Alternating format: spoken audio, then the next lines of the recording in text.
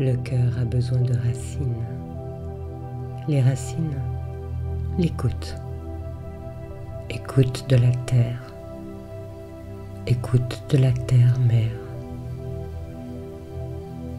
L'initiation se fait par l'écoute intérieure, l'écoute de la terre en nous, la terre que nous sommes. Si tu observes la nature autour de toi, alors c'est comme observer la nature en toi. Tu épuises les forces nécessaires pour continuer ton chemin terrestre. Un crépuscule magnifique se lève face à ce crépuscule inconnu. Tu ne vois que la moitié du disque solaire et bien que tu ne vois pas sous tes pieds la terre dans l'obscurité, elle est néanmoins dans la lumière solaire. Les choses que l'on ne voit pas n'en existent pas moins pour autant. La graine sous la terre est invisible au regard jusqu'à ce qu'elle émerge dans la lumière d'un matin.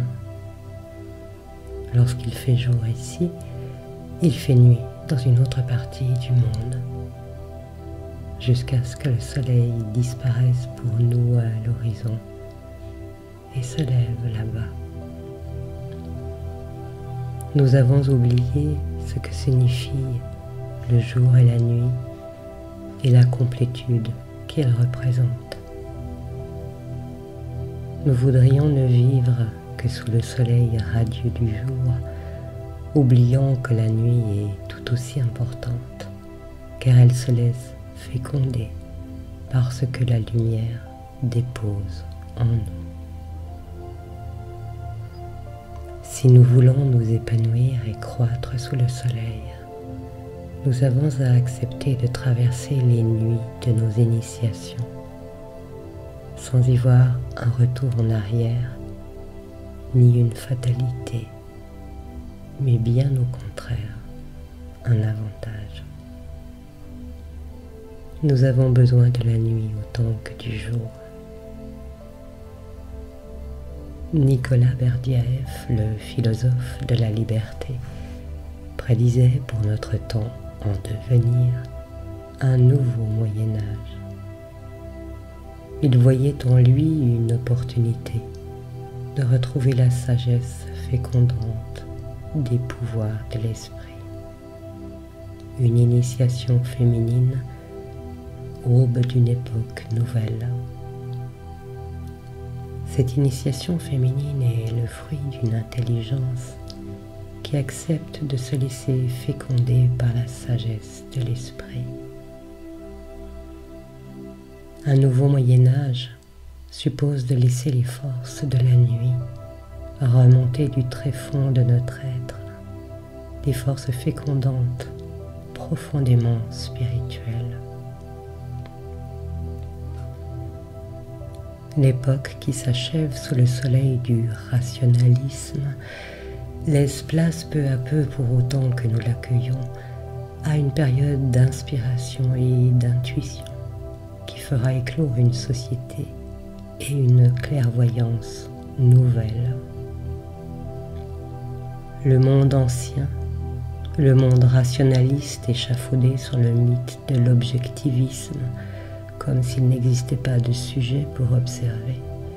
Ce monde basé sur un intellectualisme desséchant contrôlant, conquérant, commence à refluer sous la lente montée des eaux de l'esprit. Intellect, intelligence et esprit ne sont pas synonymes. Beaucoup se plaignent de trop penser alors qu'il ne s'agit que de production de l'intellect, production qui nous traverse et nous séduise ou nous irrite. Nous n'avons pas à les suivre forcément. Notre grandeur réside aussi dans le fait de ne pas leur céder, de ne pas nous laisser penser par des pensées étrangères, c'est-à-dire dans la faculté à demeurer soit focalisé sur des pensées choisies, soit en s'exerçant à ne pas suivre le train de pensée qui surgit inopinément en nous. L'intelligence, elle, est encore tout autre. Elle s'exerce dans notre capacité à comprendre la vie, à lui donner sens, lorsqu'elle s'enracine dans le cœur et non pas dans l'intellect. L'intelligence a besoin d'amour pour connaître, car tu ne peux connaître ce que tu ne sais pas aimer, et tu ne peux aimer ce que tu ne connais pas. L'esprit enfin est cette part divine en nous qui affleure lorsque nous sommes réceptifs et qui engendre l'enthousiasme littéralement, l'inspiration divine.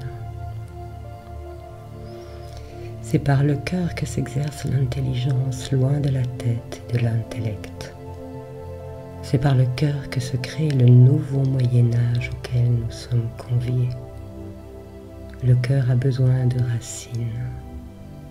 Les racines sont au tréfonds de nous-mêmes, là où l'amour règne, dans l'immobile paix silencieuse de notre jeu.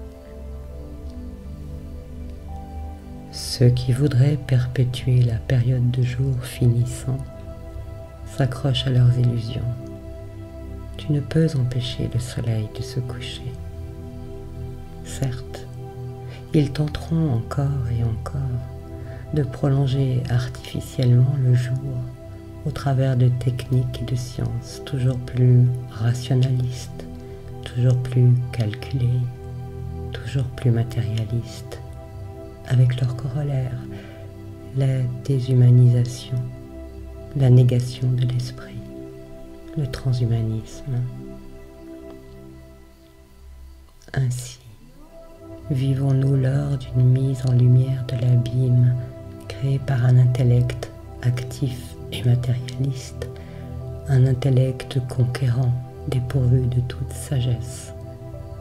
On crée beaucoup de choses, sachant que l'on en est capable sans se demander où conduisent les prouesses tirées de cet intellect et à quoi vont servir ces choses et leurs conséquences. Faire les choses parce que c'est possible est le fruit d'un intellect qui refuse la fécondation de l'esprit.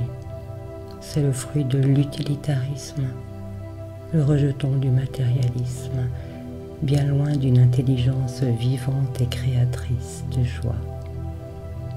Nous nous sommes enfoncés dans le matérialisme par ingéniosité intellectuelle, alors que la sagesse nous en aurait préservé, car c'est la perte de l'esprit qui conduit à l'abîme du matérialisme.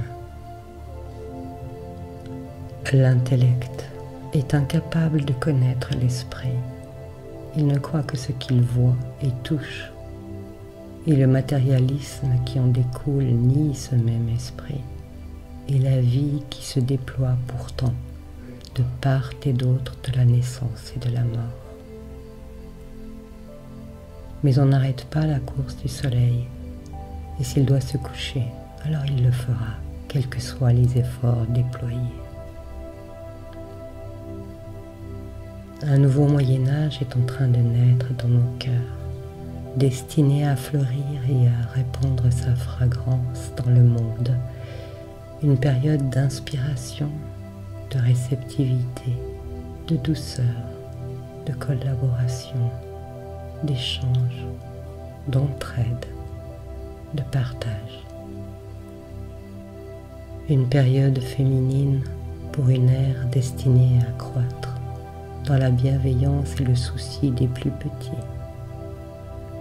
Une époque mariale et christique où le chevalier d'autrefois au service de sa dame devient le créateur d'aujourd'hui au service de l'amour. Personne ne se moquait de l'amour autrefois. Nous avons à redécouvrir la fierté d'aimer par amour, sans justification ni pudeur, loin des explications réductrices de la chimie et de la psychologie telles que le voudraient les sciences. cœur, dans l'amour, réside l'authentique libre arbitre, l'authentique germe de la liberté, je suis. Alors, le cœur puisera de plus en plus d'inspiration dans l'amour enraciné en chaque je suis. Et l'intelligence sera fécondée à nouveau par la sagesse de l'esprit.